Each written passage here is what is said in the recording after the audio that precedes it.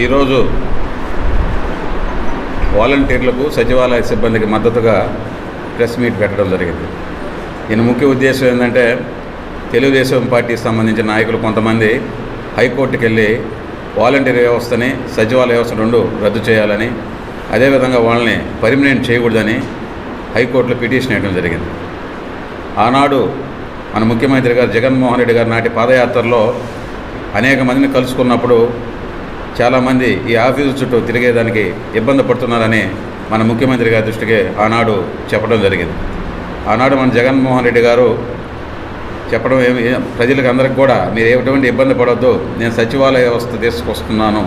అదేవిధంగా వాలంటీర్ వ్యవస్థ తీసుకొచ్చి మీకు ఎటువంటి ఇబ్బంది లేకుండా మీ ముంగిటికి వచ్చి పనిచేసే విధంగా అధికారంలో రాగానే నేను చేస్తానని ఆనాడు మన ముఖ్యమంత్రి జగన్మోహన్ రెడ్డి గారు చెప్పడం జరిగింది.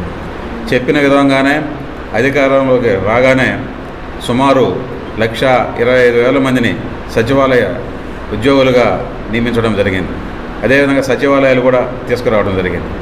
అదేవిధంగా వాలంటీర్ రెండు లక్షల యాభై వేల మంది వాలంటీర్లు నియమించి ప్రజలకు ఎటువంటి ఇబ్బంది లేకుండా ప్రభుత్వ పథకాలు అన్నీ కూడా నేరుగా వాళ్ళ ఇంటికి వెళ్ళి వాళ్ళు తలుపు తట్టి వాలంటీర్లు ఇవ్వటం మనందరికీ కూడా తెలిసిన విషయం.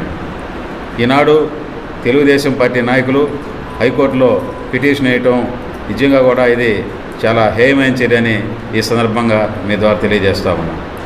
వారు కరోనా పదిహేను నెలలుగా కరోనా కష్టకాలంలో కూడా సచివాలయ సిబ్బంది అయితేనేమి వాలంటీర్లు అయితేనేమి వారి ప్రాణాలు సైతం లెక్క చేయకుండా కూడా ప్రజలకి నిత్యం సేవలు అందించడం కూడా మీరందరూ చూస్తూనే ఉన్నారు. దీన్ని ఈరోజు మేము ముఖ్యంగా కూడా ఈ మీడియా సమయం సందర్భంగా ఈ తెలుగుదేశం పార్టీ నాయకులు చేసే పనులన్నీ కూడా అందరూ ప్రజలందరూ గమనించాలని దీన్ని అందరూ కూడా సచివాలయ సిబ్బందికి వాలంటీర్లకు మద్దతుగా నిలవాలని కూడా ఈరోజు కోరుతా ఉన్నాం. అదేవిధంగా ఒక జాబ్ క్యాలెండర్ను మన జగన్మోహన్ రెడ్డి గారు ముఖ్యమంత్రి గారు ఒక జాబ్ క్యాలెండర్ని కూడా రూపొందించడం జరిగింది.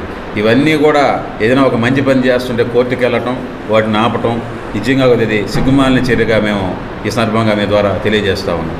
ఏ పథకాన్ని తీసుకొచ్చినా దాని మీద ఏదో ఒకటి బురద చల్లటం అదేవిధంగా ఏదో ఒకటి కోర్టుకు వెళ్ళటం దాన్ని ఆపటం చేయడం ఇది మంచి పద్ధతి కాదని తెలుగుదేశం పార్టీ నాయకులకి మీ ద్వారా తెలియజేస్తాము ఏదైనా ఉంటే ప్రతిపక్ష పార్టీలు మీరు ఏదైనా ఉంటే మన ప్రభుత్వం తీసుకు తీసుకొచ్చి మీరు అదే విధంగా చేసుకోవాలే కానీ కోర్టులకు ఎక్కి ఈ విధంగా ఆపటం మంచిది కాదని అదేవిధంగా ఒక మరొకసారి మండల వైఎస్ఆర్ కాంగ్రెస్ పార్టీ తరఫున సచివాలయ సిబ్బందికి కానీ అదే వాలంటీర్లకు కానీ మేము సంపూర్ణ మద్దతు మా మంత్రి గారు మేకపాటి గౌతమ్ రెడ్డి గారి ఆధ్వర్యంలో ఎప్పుడూ ఉంటుందని ఈ సర్వంగా తెలియజేస్తూ వారికి ఎటువంటి ఆపద వచ్చినా కూడా మేము ఆదుకుంటామని ఈ సర్వంగా తెలియజేస్తూ ఈ సమావేశాన్ని